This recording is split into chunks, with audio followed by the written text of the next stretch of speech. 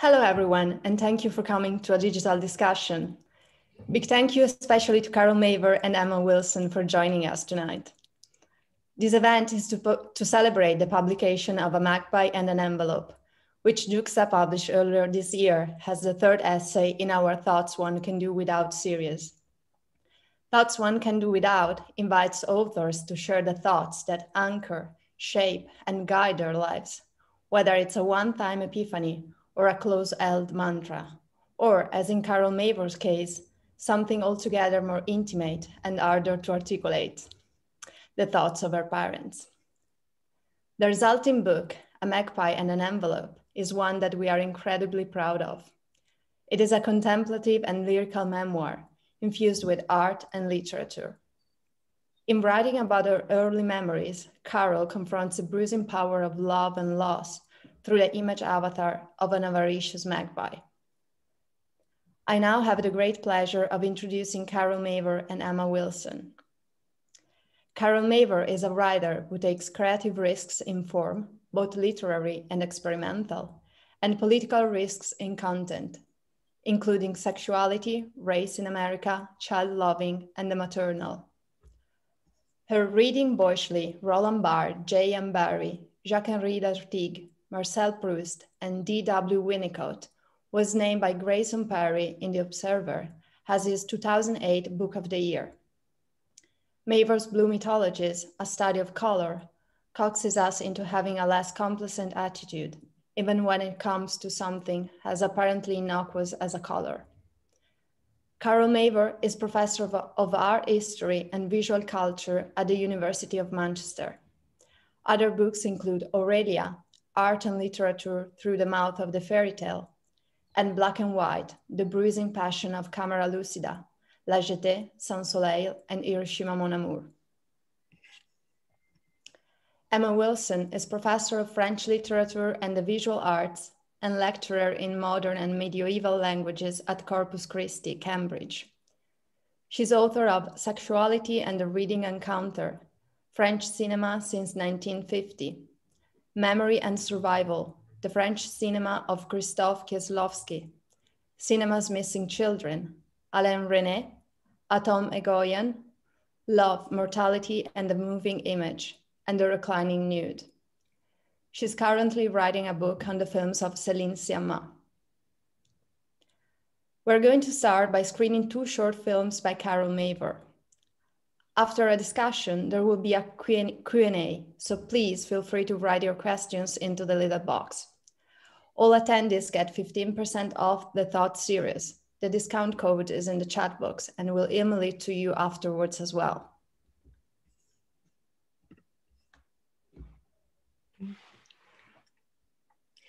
At this point, before we look at the films, um, I just wanted to say how, how thrilled I am to be part of this event. Um, I first encountered Magpie Daddy at a reading Carol gave in Kettle's Yard in Cambridge. Um, it's a joy to see her memoir work pursued in a magpie and an envelope, and I'm holding it up here um, for Juxta Press. The small volume, I think, is, is hugely precious. It feels like a, a pocketbook you want to carry around with you. Um, it's accompanied and preempted for me by a memory of Carol's voice reading her own words.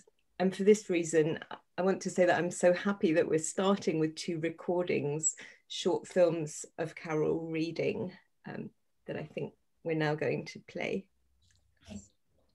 just let me say thank you to everyone, to Emma and everyone at Juxta Press. It's a very happy occasion for me. Thank you.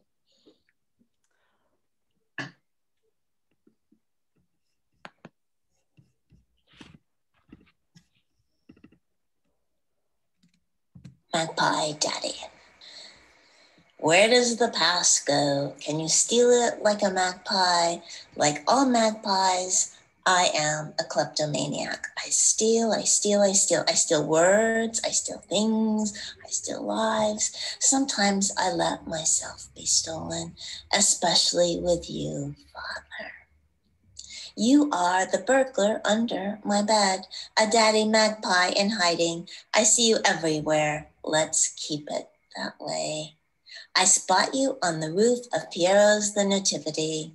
You are discreetly turned in silent profile, far less magpie-ish than the singing donkey who is braying in the background behind the lute-playing angel dressed so handsomely in chalk blue. He, uh, e, or, Daddy, you have always been polite. I see you on a little wooden gate made of crooked bird leg sticks and Monet's snowscape entitled The Magpie. Your white feathers are cast in ice blue like the shadows in the snow. I cannot hear you, but I hear the freezing blue of you. You always love the snow. You taught me to ski when I was but three years old. You were on a leash in Goya's Red Boy. You loved red. You hold the artist's calling card in your beak. Your nose is so handsome and striking. You gave me your nose, but it looks better on you. The boy in the painting will die young. The calling card turns funerary. Magpies are known for their funerals. Upon discovering a dead magpie, a magpie will begin its notorious loud chatter, beckoning other magpies to join in with the grieving. As many as 40 might join the ceremony. Magpies have been observed burying their dead under twigs of grass. After 10 to 15 minutes of magpiety, that's a real word, they fly off in silence. Note, one note from one bird is better than a million word. A scabbard has but one sword. How can one bird, one word mean so many things? How can father, my father, be everything? Magpie daddy, my note, my bird, my sword, my word is dad.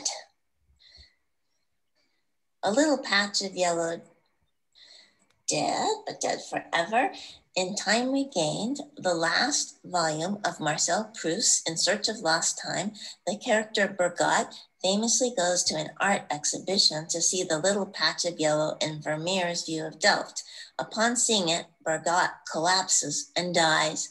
Marcel, the author, narrator, character in this long as life novel, ponders the loss of Bergotte, commenting, Dead? Dead forever? Perhaps my father, he too is in that little patch of yellow that Bergotte saw before he shut his eyes forever.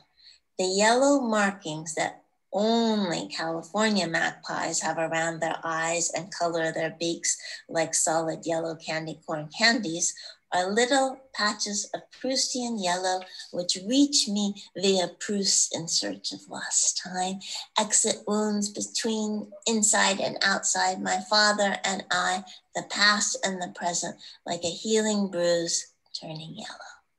A flash of me as a child, slipping my fingers into the mouth of a yellow snapdragon flower in our backyard in California, Daddy, you planted them with your seeds.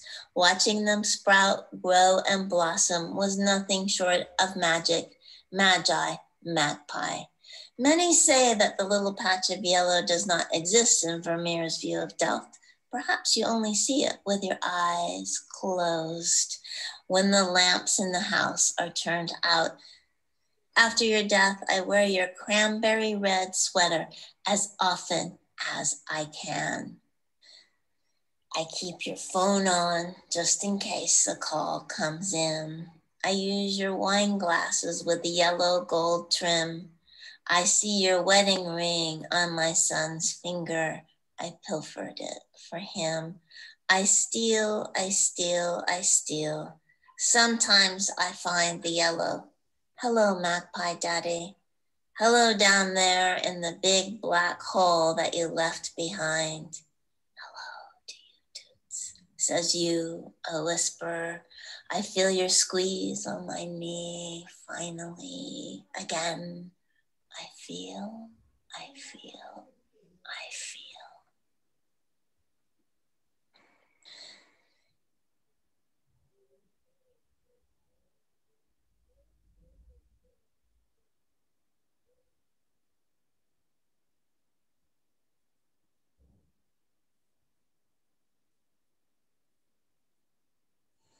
I made my mother sick.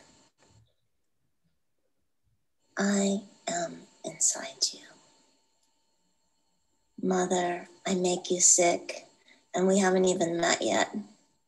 My effect on you is pernicious. Initially, I was just an irking blossom, but soon a cherry with a pit, then a plum, green and unripened, then a pomegranate, its blood juice sour, its seed woody, then a mango with a sweet resinous smell, which was unfamiliar to you, which you did not like, then a cantaloupe. You did love the sweetness of this fruit and its color, but the smell was squash like, spoiling. Then a honeydew melon, and you felt the weight too much.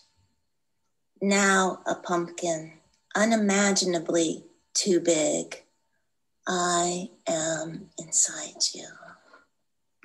Your camellia heart calmly pedals its beat. My hummingbird heart taps an extremely bright allegro, precisely 160 beats per minute. Your puffer frog lungs suck in air that you exhale like a gust of wind outside of my tight digs, making me feel safe and contained like home on a stormy day. I am not using my lungs yet. That is to come. A trickle of our shared blood makes its way through my umbilical vein to my staccato heart. Your bones make faint branch cracking sounds. My bones are silent and soft like green saplings. I hear the doctor's mourning dove voice, his worried voice. I hear the mosquito buzz of surgery lights. I hear a cacophony of calculating voices planning on how to get me out. I do not understand. I am not mentally clairaudient. I naively hear. The cesarean section is ready to begin. As if erasing the week's vocabulary words on the classroom chalkboard, the anesthesiologist quickly erases you clean with darkness. You smell the nauseating odor of clean seafoam green hospital mint sleeping gas. I do not smell it, but I will later when I am six and I have my tonsils taken out. Hearing the blade of the surgeon's knife is deafening in my close quarters. I am being pulled from my dark cave, my burrow, my den, my hole, out into the light of the world, Persephone in reverse. I am being pulled and pulled from the darkness of my cupboard, where words are heard but not understood. Head, toes, fingers, bottom, skinny, knees, tiny vagina, bloated belly come out of the carefully cut baby size slit.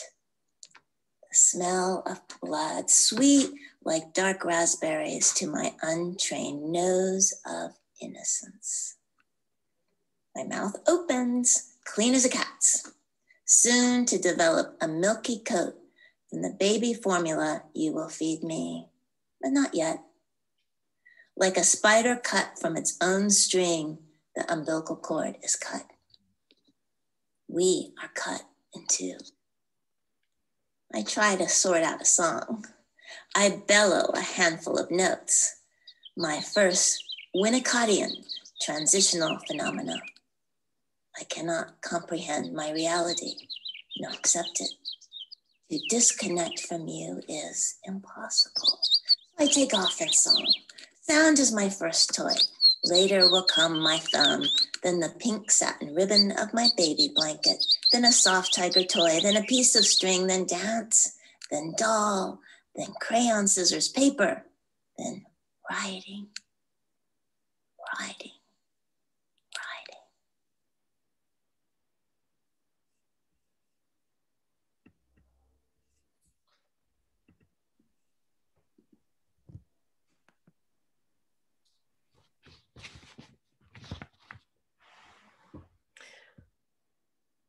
Well, I think I've described this this project as as perhaps the most overwhelming and loveliest piece of writing that that you've done, Carol. Um, it's it's a joy to talk about it with you. I guess I wanted to ask just um, at the start how you feel about publishing with Juxta Press and in this beautiful short format. And, and I'm, I'm interested in what opportunities it offered you um, for this project. Well, I was very happy uh, to be contacted by Juxta Press. Uh, they do such lovely books, and they had been interested in an earlier book of mine, Black and Blue. Mm-hmm. And I found it to be liberating to have this smaller topic um, and to even think about holding it in your hands and the nice paper and the, and the beautiful ink. Um, but also, um, I really agree with the French philosopher Roland Barthes that a, a, text on pleasure has to be short, like his very famous book of Pleasure of the Text. And I wanted to write uh, initially about the loss of my father, but I wanted it to be not as dark as my book, Black and Blue. I wanted it to have that kind of joy. So I think the small format afforded the joy that I wanted to talk about in terms of loss. And um, also to be more poetic and indulge in Sylvia Plath and Emily Dickinson and all these people that I'm, I'm stealing from. And, and I want to add, I was originally only going to write about my father, the magpie, and it was too short. This has never been said to me before, but too short. Um, and I knew I really had to write about my mother, which was a different sort of text where I also wanted to find that joy um, uh, in my mother and my memories of her, even though I really truly believe she was depressed most of her life. And I feel that I didn't personally bring on the depression, but I think the particular time of the 1960s and she had postpartum depression, which was not recognized in poverty. So they end up mirroring each other in, in a really, I think, hopefully interesting way. And um, discovering this envelope of writing that you don't hear in the little clip that my mother left I realized how smart she was and what a good writer she was in this short bit of writing. So I was really uh, appreciate Juxta Press for saying you got to have something more, and, and what was missing, of course, was the mother. I mean, that seems so extraordinary that that formal request to, to have something longer and then that possibility to juxtapose um, mother and father and and, and yes. It, if it's longer it has yeah. to be it has to be who's the mother here so. Mar- not like me to live I mean, leave the mother out i'm obsessed with the mother but anyways that was a good I, suggestion but i love i love that response to a bid to um to to to fill fill out the text in that way yeah but i guess i mean it leads um I suppose to to one of the, the bigger questions that I want to ask you. And um, you have such an amazing reputation as an art historian, and and and always, I mean, we we admire you so much your your readers as as an art historian who has brought in affect and and feeling and and to to explores that response i mean the delicacy of particular responses to art um i'm interested in in what's motivated the move towards memoir now and I, I feel in some ways you've you've crossed an invisible line in your writing and the memoir mm-hmm. and, and and fiction seem I, I, mean with your your wonderful like um like like a lake and and uh-huh. just, um I'm interested in in um where your writing is now and okay um, yeah. yeah well just to give a little back background about my education a very long, long time ago. I started off um, making art and making large stage stage sets, and they were about color and childhood and a lot of things that we find in a magpie on an envelope. Um, uh, so that I was a kind of creative work that maybe would be closer to fiction. And I felt I became very interested in critical theory and I wanted to write uh, academically and take take a turn. So so I did um, my PhD. But I think that that emotion was was always there from the beginning. In fact, I used to really get in trouble from it. I sort of long for the art the old days when academics would get mad at me and shake their finger. You can't use I. You can't write about yourself. You know, you have to be objective. So I think that that emotion and that tendency towards art writing or fiction was always there. And interestingly, I was always writing about the mother, even mm. though I almost didn't hear. Um, and I want to quote this wonderful quote from uh, the artist Mary Kelly, who's done such amazing work on motherhood, of course, with her postpartum document. That the mother is there; she's just too close to see. And if we, if we think of the mother as that emotion, I, I think that that that's there. Um, but I really wanted to write a novel. I, I'm so that is this newer book called like like a like a lake.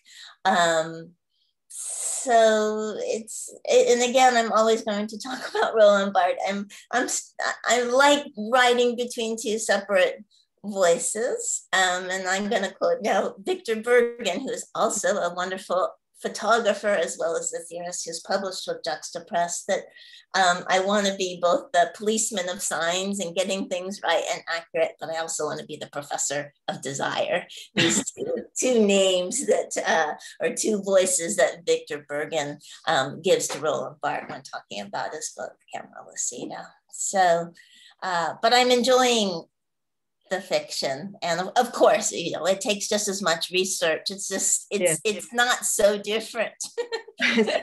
It's not so different yeah.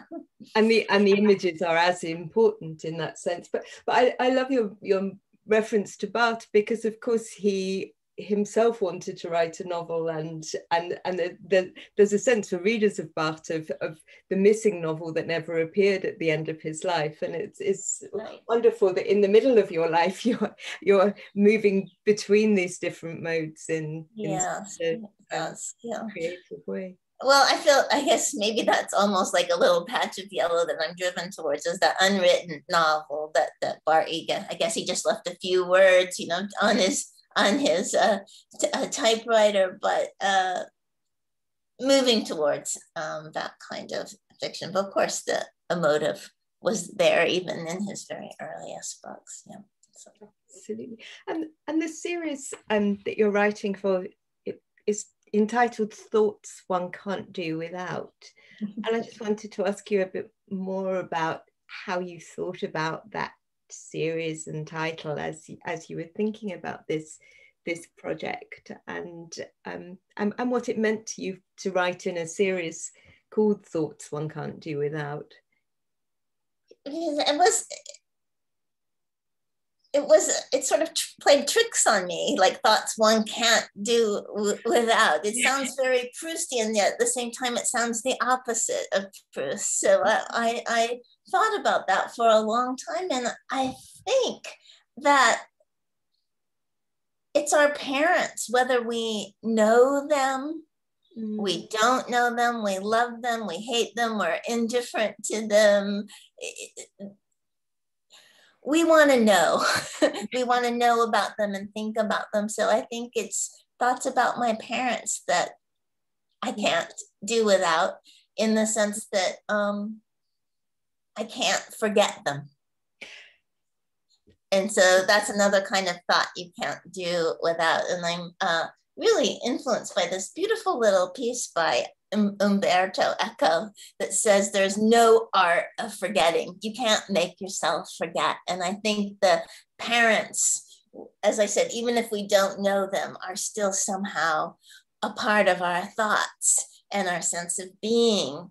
Um, just like I, when I talk about remembering being inside my mother's womb, it's the same sort of thing. I really feel like I remember or that I have those thoughts, and, and our parents occupy them um, as well, even if we're orphans or adopted. Yeah. Mm-hmm.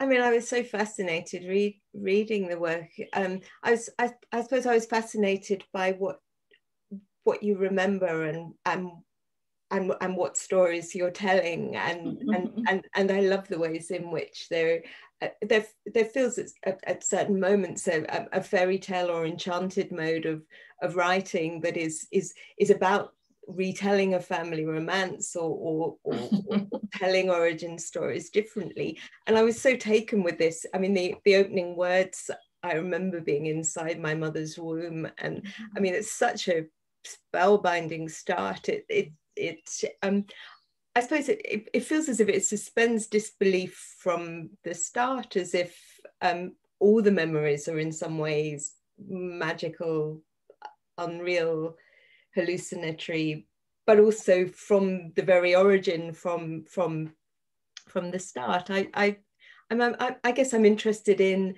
that that place of the womb at the start of the mm-hmm. of the mm-hmm. text and and and how how that relates to what follows i mean some of the water imagery the imagery of immersion the the blueness of lake tahoe all the the globes and orbs and worlds in in in your mm-hmm. work Mm-hmm. The sort of Russian nesting doll images of, of the mother herself. Well, be, this idea of remembering being inside my mother's womb, I actually stole that from a little boy who was um, there was a class. I, I, have three sons myself, and there was a class mm. um, that uh, with, I, with my first son uh, Oliver that we attended before and after birth, and there was an older sibling um, of one of the babies that had been born. This little boy said, "I remember being inside my mother's womb. I remember hearing her bones crack." I mean, he just said this with such absolute certainty that it really, really stuck with me. And of course, that goes, well, not of course, but for me, that connects to uh, Julia Kristeva's work and the way in which she usurps the term semiotic, not to be the science of signs, but this time both before and beyond language.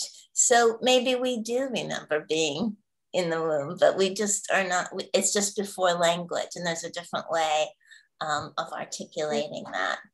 And I, I, I love the writing of the novelist Javier Marias. and he has he has a, a wonderful line in one of his books, like if you never say it, did it never happen?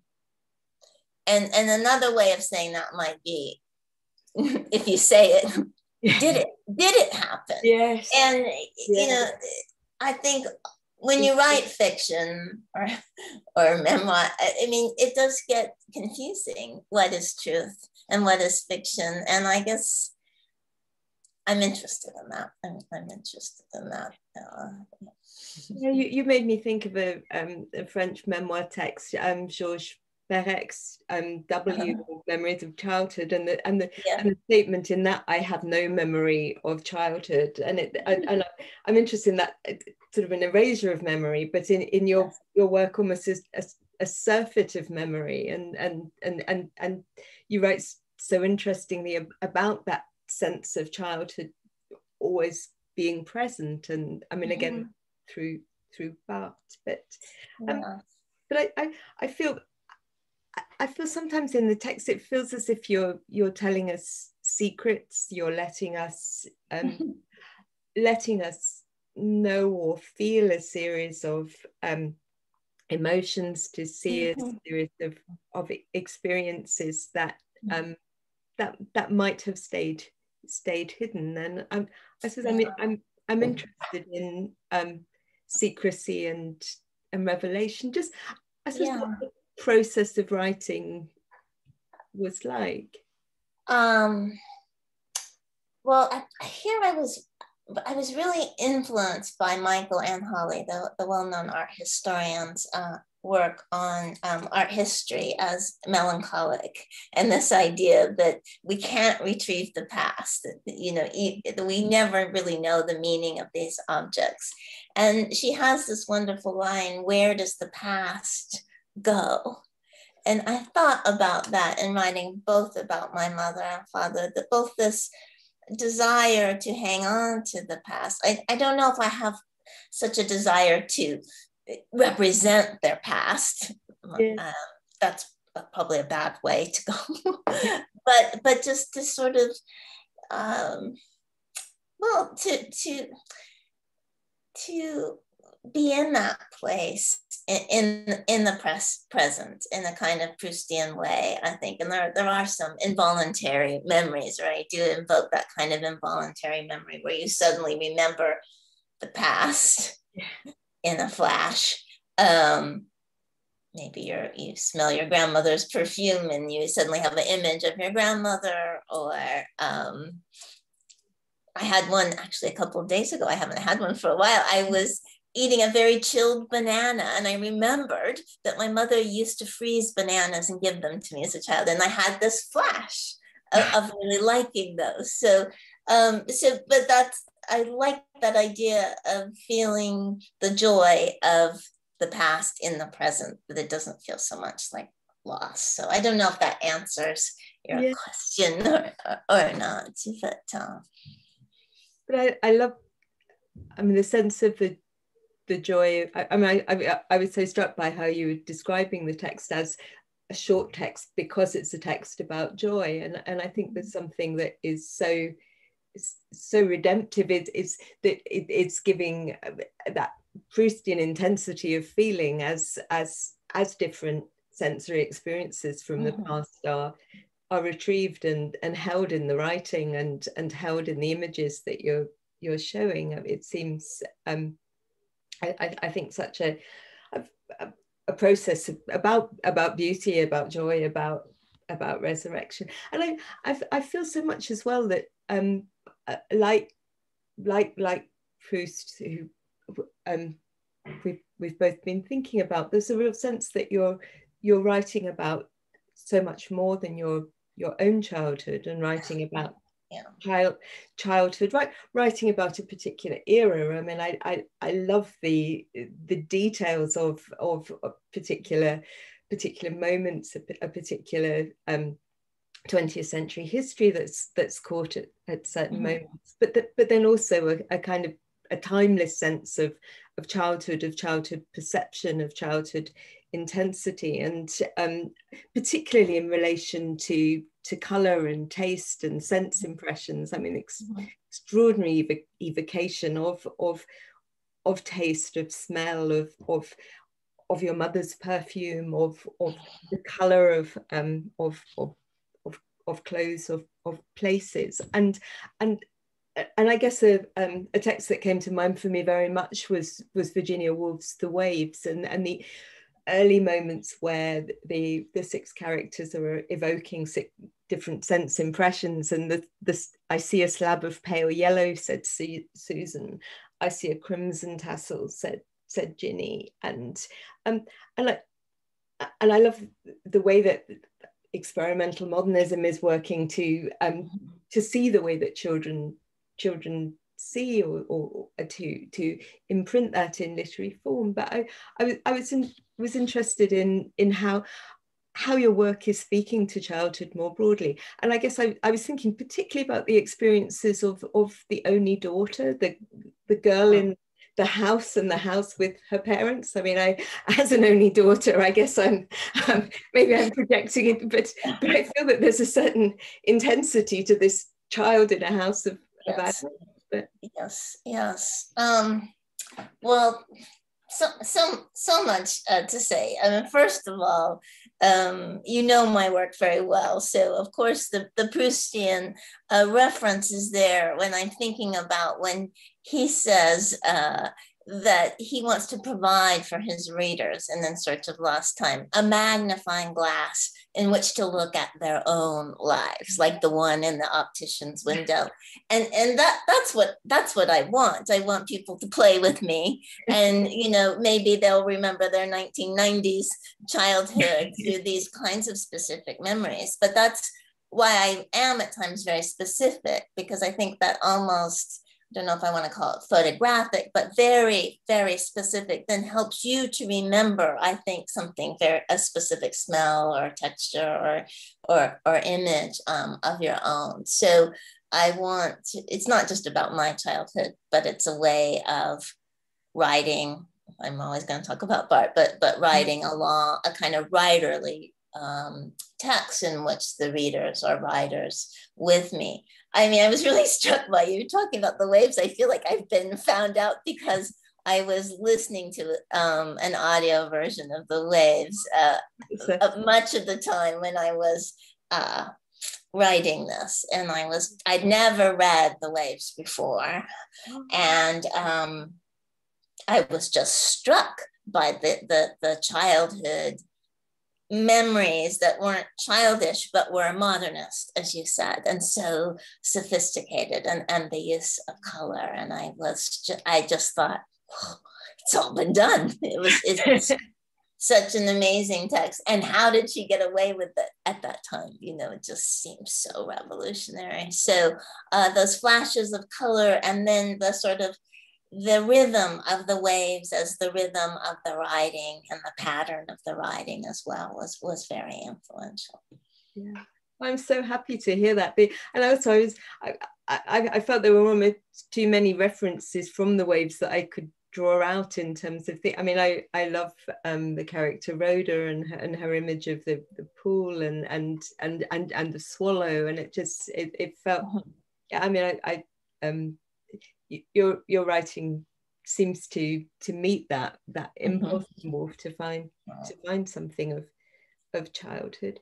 Um, I, I wanted to ask you about the mother and the father and uh, in the back of my mind i'm i'm coming in also to i, I suppose to the lighthouse in the sense of these, uh-huh. these two archetypal figures there um in your text you have magpie daddy and then the second part is called Ice Blue Easter Lily Envelope Mother. Mm-hmm. And and the first time I read the text, it felt as if the two were quite distinct and with the two mm-hmm. parents. And and, and I, I knew Magpie Daddy before from from your reading in mm-hmm. in Cambridge. But but going back to the text, I found the the um the two parts become more and more involved with one another as one as one mm-hmm. reads and as mm-hmm. as as image patterns return and and I suppose I was interested in whether you were writing them with relation to each other or, or whether you you you focused on each individual parent each each loved one each each relation to you as as as mm-hmm. I well I wrote as I t- in terms of the timeline, you Magpie Daddy first, and then and then I wrote the piece on the envelope. Of course, I was thinking about my mother the whole time I was writing Magpie Daddy because I couldn't have written a text like that about my mother because that that wasn't her, and uh, she was very closed, like something in an envelope and a mystery. And as far as their marriage, I mean, I always was baffled by their relationship as a, as a child. Um, my father was the maternal one who, mm-hmm. who, read to me, who put me to bed, who played games with me, and my mother was often not well and, and distant. So I wanted to um, think more more about that. But your question makes me think about my parents together, and I think they were almost like um, in really young children, really young children who play together like side by side, but they don't interact. it's it's a kind of play, but it's not with each other. And I think that's that's how my parents were. They were they were quite separate. They loved each other in their own particular way, but they were, were quite separate. And, and my mother was was very depressed, and that was difficult for my father. And it was difficult for her most of all and, and, and difficult for me. So interestingly not enough, it was when my, my mother died some time ago, but when my father died rather recently, he left for me this envelope of writing that mm-hmm. my mother had. And I mean, I know you know there's a recording that I've written about too that my mother left, but this mm-hmm. envelope of writing, it was, and to think that she was writing that uh, when I was at home, and it, it just opened up something to me that showed how strong she was and that she could be really articulate in ways that I, I wasn't aware of. And it, there's something about that writing that reflects um, her beauty um, before I was born that I obsess on in um, in an envelope. You know, just the way she wore clothes and lipstick, and she just was another being. And so that that beauty that I loved to see from another time before me, um, mm-hmm. then somehow echoes with that articulation, that very careful writing. That's almost like careful dressing that who she was writing it for, I don't know. but I I love the way that you you also use the text to bring back some of her writing and to to cite her writing and in the the type yeah. of citational practice the kind of what you describe as a type of magpie um, stealing and citing that that you're mm-hmm. also use using her words and um as um as you did also I think in your essay about Chantal Akerman and mm-hmm. um, and and um, and and that I guess I I I love the way that your texts are are so capacious and open to the words of others and yet also mm-hmm. have their own their own style their own um, delicacy their way way of um, revering and holding the, the words of others um, I, I just want to say one thing there. I, I like to think about words like pictures. I don't know. So I like what you're saying that mm. I just want to present my mother's words like like an image that almost sits like images work oftentimes in my books where I might not talk about them much or maybe but they have a strength and a pull and you know why they're there but i don't want to ruin it in a sense by describing what's happening. Um, and so her words operate like that for me as well. And that, and that you make me think so much about about secrecy and and again about thoughts one can't do without and that's and that sense sometimes that one can encounter things in in your work almost unconsciously not understanding quite quite their power but then and um, then that possibility of going back to them or or, mm-hmm. or in, encountering them again but but I, I wanted to ask you particularly about images and and your your use of images and we, we've mm-hmm. seen the, the beautiful slideshow that you you you used um and i guess i found myself um curious thinking about your work about how the images are relating to the memoir and mm. and whether they are giving access to memory giving it a different form offering um, a, a, text a, um, a space for for reworking memory blocks mm-hmm. or mm-hmm. um, where I, I'm, I'm interested that, um, that that your work draws on on paintings, not on um, per, personal images and documents, or if it does, uh-huh. drawings rather than photographs of your your parents or your childhood. Uh-huh. Well, I think to have a photograph like of my mother would like Barthes and Cameron would ruin it. You know, it's better for you to imagine probably um, or to see my father's nose just think of the magpie uh, but uh, images sit with me like text i just don't really I don't, I do separate them, of course, but I don't. I keep them in my notebooks and I, I come back to them. So um, Piero's Nativity is a, you know, it's it's in the National Gallery in England and I've seen it so many times and it sits with me and the colors and I'm just interested in the Virgin because of Kristeva writing about it. It's just, it's with me all the time. And then I didn't know about the magpie until recently. So then it jumps out at me and becomes something else. So um, I guess I sit with these images and then they they speak to me in, in, in different ways but they're images that, that I love. Yeah.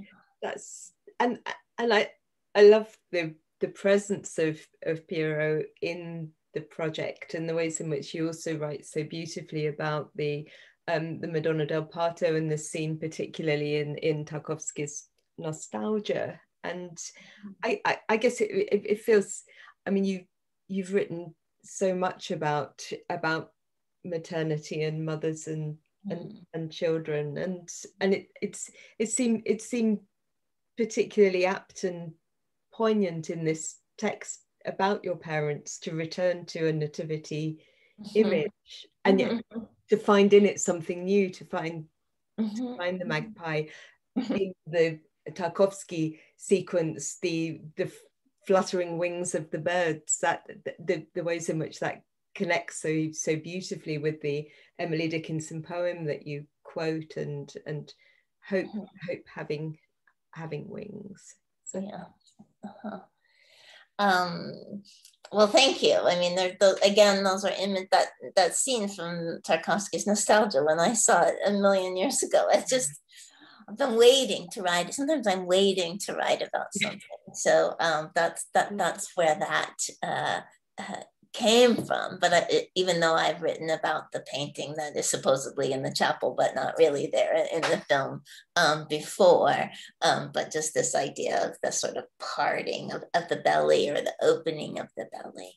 Uh, I don't know if that answers your question. No, I, I love that sense of waiting to write about something and then finding its place in a particular text and um, I mean the I, I, was I was very interested in the um, the reference also in the text to the Tina Modotti um, mm. photograph Easter Lily and Bud um, where you write about your mother the petals of the mother lily are mm. gently open um, and and, and this leads back to what you were saying about about her beauty but and and also about joy and, and memoir and and and and within um a i suppose a, a, an honoring of a life or a recall of your mother that that must must also have have um, melancholy within it but mm-hmm. but that mm-hmm. um that image of her beauty yes. a sense of a sense of a, a daughter looking to an adult mother and seeing her, her beauty and sensuality as some flowering of, of,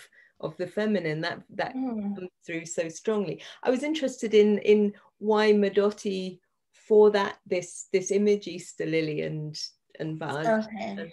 Well, I love Tina Modotti's photographs, and she she has that very beautiful photograph. You might know it of a woman holding um, a babe, a very chubby baby uh, on her hip. And I, I, I, I think about that image a lot, but that is not the image of my mother and myself. We were like two, two separate flowers and just seeing that uh, blooming of her that reminded me so much of these gorgeous black and white photographs of her and my father, where she found this photograph photographer, I don't know. He, she worked with him.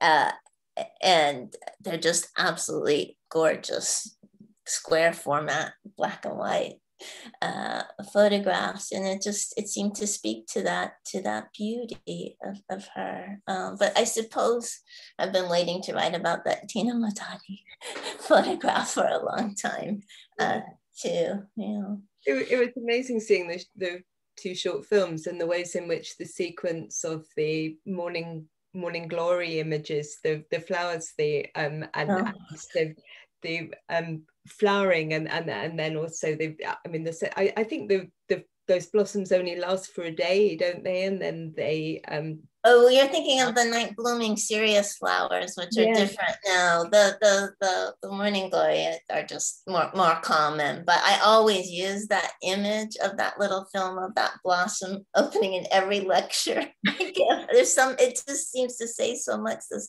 opening and this closing and that vibrant uh, color. It, think back to the Tina Modotti, but also it, it, felt it felt it within the sequence of still images that you used. It, it felt again mm. a moment um, like the birds in Piero, like like the mm-hmm. awakening in Chris Marker's La Jetée. It's it seemed that that moment of of of moving towards film and something that is mm-hmm.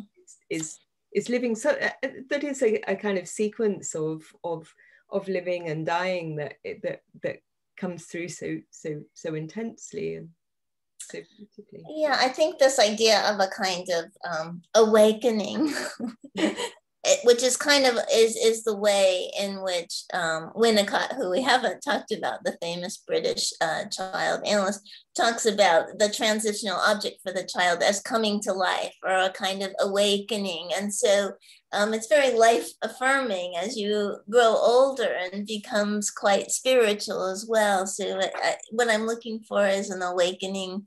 Uh, sounds cliche, but of, of my parents who are dead, but I don't want them to be dead forever, like Proust says about Bergotte, that there's, it, it, can't be, you know, I just say no. Yeah. I can't accept it. Uh, yeah. Even though my father would say, you have to accept it. no. there's there's a sense that the the text and its images and and and and the um I mean just the animation, the vividness that that is there in the writing and in that in that relation and in that in that pursued conversation and that p- pursued practice. Because I um I you you speak about um the sense of of of your own work being being about about stealing about citing i mean it, it feels as mm. if you're you're you're pursuing your your father's legacy in some ways mm-hmm. but making mm-hmm different, making it making it new. It's mm-hmm. yeah, it's true. T- taking the stories that that he gave me, and of course he taught me to read, and I realized that this all this bedtime reading, how important that was to me, and giving me access uh, to language that I didn't think about more until later. But I really do remember very clearly learning to read and the pleasure I took in letters and text.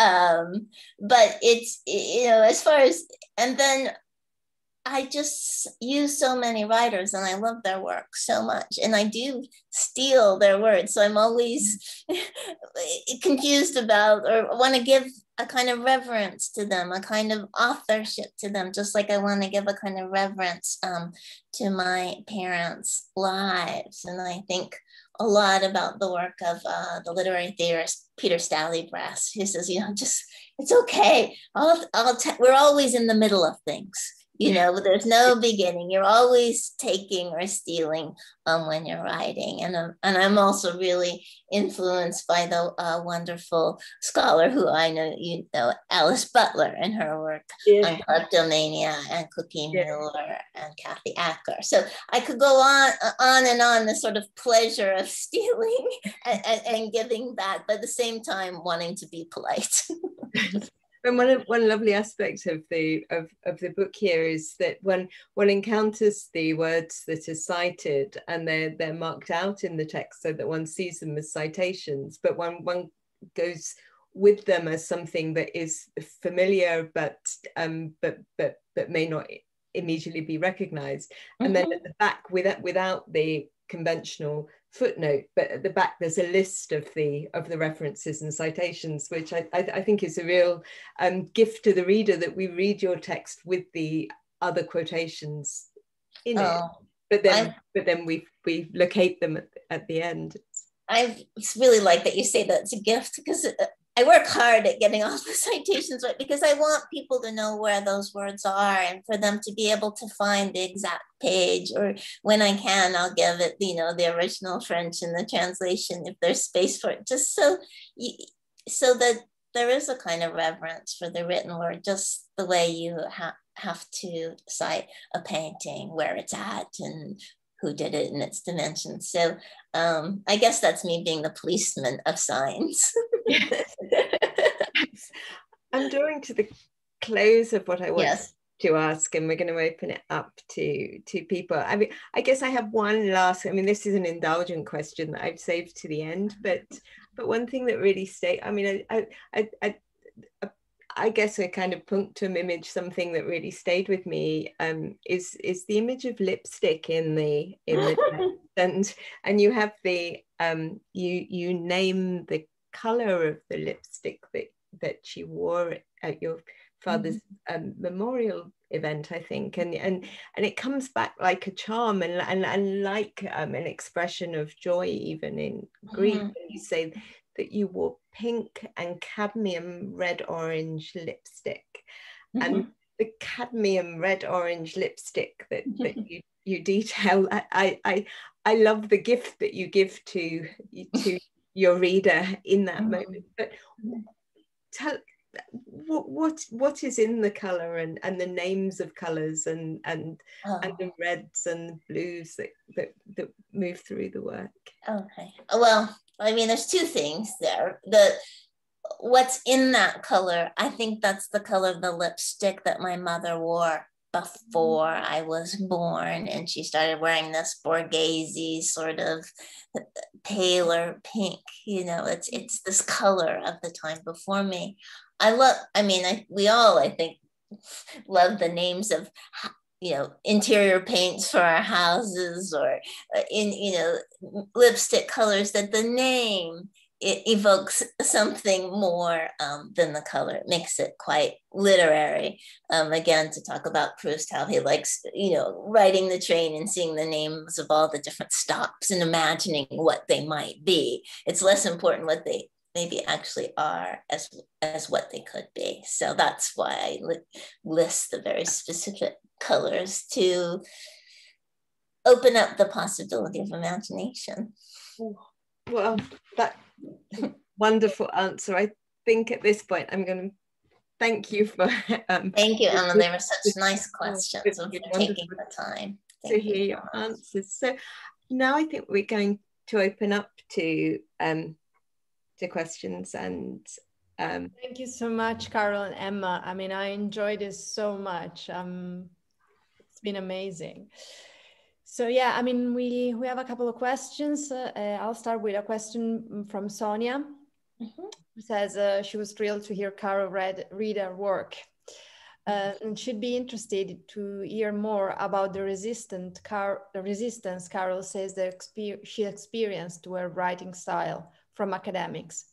What resources helped her stay true to her artistic writerly path? You mean like I'm not sure exactly what Sonia means, but I I do have memories of um the second book that I published on, on Clementina Hawarden and, and her very sensual um, and I think erotic photographs of her adolescent daughters, even though they were taken in South Kensington in the 1860s and 70s. So it was there where I talked about what I saw in the fabric or, or the touch as, as a viewer. And sometimes um, some academics might get up and shake their finger at me and tell me that I can't do that. And I was very, very, very disturbed about at the time. It really upset me. But, but then later I took some pleasure in it. And yeah, and, and our history has actually changed a lot um, since those times as well. But I guess what I would say to Sonia is I think you have to be very careful and I have you have to cite people and the work has to have an integrity, but don't write the way people think you should write. Okay. uh, then we have another question. Um, so in the book, you include two of your own drawings. How does the drawing tie into your writing?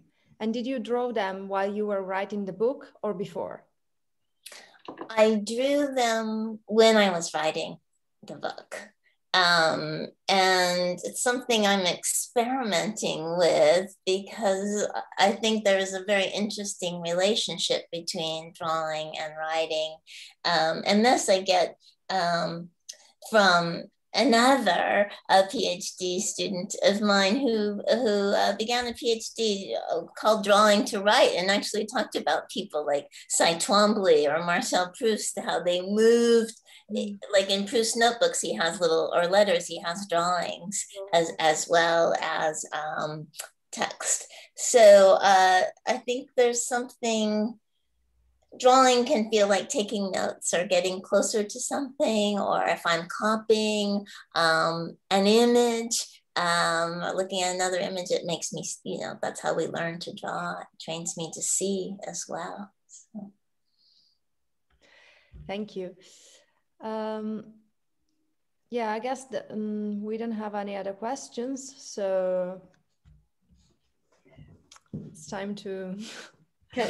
Okay. say thank I, you again for this wonderful evening. I really enjoyed it, and um, and please, I, uh, I secret message. Can I ask one more one more question?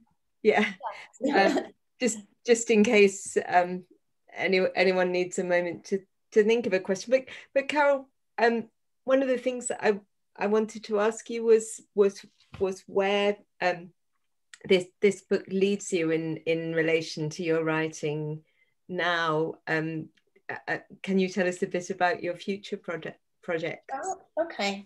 Um, well, one thing that I I'm always working not because I'm so productive or I, I'm always working on more than one book mm. at once. Um, and they influence each other. So I, I did just publish this novel called Like a Lake, which is part of a trilogy. The second one will be Like the Sea, where you'll hear Virginia Woolf and the waves again. and the last one will be uh, Like a Tree. And they're all not about me, but they are about uh, Northern California in the 1960s and like Tahoe and redwood trees and things that are very familiar to, to my childhood. So, um, and there I use pictures and it is, and, and I do use facts and history. So again, it's this in, be, in between um, writing. So that's what I'm mostly um, focused on. And then I have another um, idea for, um, I've been keeping journal notes um, to write something about my husband, Kevin Parker. So um, we'll see where that goes. I had a train journey with with Carol between um, Cambridge and London, and saw in, her making notes and an amazing notebook, and just just a sense of of her as someone that is always responding, thinking, noting things down. I'm I'm wondering if you you could tell us maybe maybe finally before we close, but just just a little a little about that practice. My my impression mm-hmm. is you're some you're someone who is continually letting a, a project grow and and evolve and and and and you said that you're working on on several projects simultaneously. Um, well, the notebooks really help me with that so that I don't um, forget ideas or I don't forget images or I will go to the museums and, and draw images that I see, which I find actually much more useful than trying to take pictures of them and things like that, like I used to do. So, and then I let the, the, the notebooks swell or build and then I go, back to them. And it's like I find all these secrets or these surprises that I suddenly remember, but I don't remember writing and it, sometimes i think there's something there that's really special that was written of the moment that i could never just do sit, sitting at my, my desk. Um, my teacher, Page duBois, the wonderful classicist, told me you should always keep a notebook by your bed, you know, to record dreams or whatever you're thinking about. And I, I resisted that for a long time. But when I realized I could write anything in my notebook, I didn't have to write something smart or I didn't have to keep a journey of what I was doing. That was quite liberating. And I cut and paste and make things and save things. So um, it's. Mm yeah, drawing to write, I guess, writing to draw. we have another question. Yes. Uh, Carol, can you talk about film or photography projects? Any percolating? Oh, well, yes. I want to make a film. I, I have made uh, one a film that, that's on my website, um, an artist film or a moving image project called Full about a young boy that has anorexia. But I really would like to really have a budget and I, I, I think of my work in terms of film a lot and, and to, to make a film, I'd love to make a film about like a lake because the whole time I would think about how how that would look and um and and maybe like a art house film but not not a gallery film like a, a, a real narrative um, but i'm really interested as emma has already pointed out in a number of filmmakers like chris marker and uh, chantal Akerman. Um, so. Yeah, I see that many people here in the chat box are saying, um, please make a film, Carol. okay, how are we gonna? Who's gonna? Who's gonna do that? I, I would like to. I feel like that's what's waiting to happen. That's what. Yeah, I would really like to do that. I was just thinking about that driving in the car today. So uh, yes. okay. Okay, so uh, well, thank you so much again, Carol. Thank you. Thank so you. It's been amazing, and uh, I hope we'll be able to meet soon. And yes, that would be uh, nice. And thank you for all the beautiful editing and encouragement and ideas. It was you were just a wonderful press to work with. So nice, so nice. Such great typography too. okay, thank you, everyone. Thanks so thank much. You, thank you. Bye-bye. Bye. Bye-bye. Bye.